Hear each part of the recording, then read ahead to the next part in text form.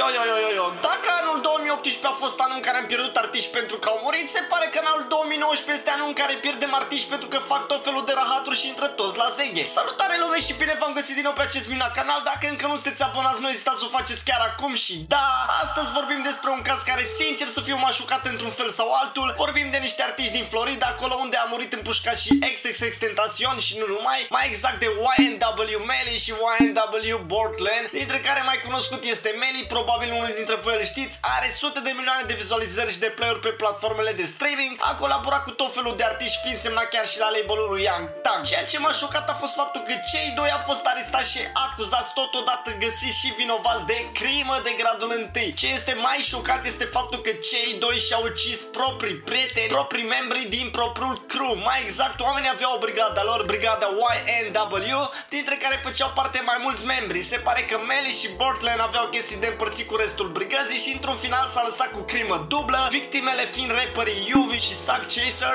amândoi fiind tineri, mai exact 19 și 21 de ani. Totodată Melly și Barnum sunt cam de aceeași vârstă și se pare că deși își regretă faptele, timpul nu poți să-l dai înapoi și probabil că vor primi o sentință foarte, foarte grea. Acum stăteam și mă gândeam când am auzit știrea asta pentru că eu l-ascultam pe Melly și chiar era unul dintre artiștii plini de potențial care avea zeama lui, nu vreau să-l judec, nu pot să înțeleg cum e viața în USA, cum e viața între ganguri, dar totuși consider că oriunde ai trăi pe planeta asta există o linie pe care nu ai dreptul să o depășești, linie ce nu te lasă să-ți omori frații, familia, prietenii, femeia, brigada, etc, etc, etc, indiferent de necazuri sau pagube sau I don't know, man. Man, really, man, Melly era super talentat, dar se pare că viața de stradă și educația pe care a primit-o crescând în Florida, care a devenit o zonă din ce în ce mai periculoasă, asta spunea și Kodak Black într-un interviu după ce s-a mutat și el de acolo pentru siguranța lui ca artist și ca om. Se pare că în Florida se întâmplă foarte multe crime, foarte multe jafuri și nici artiștii nu se mai simt în siguranță pe acolo. Toată știrea asta a dat peste cap lumea muzicii hip-hop de afară pentru că se știa foarte bine că brigada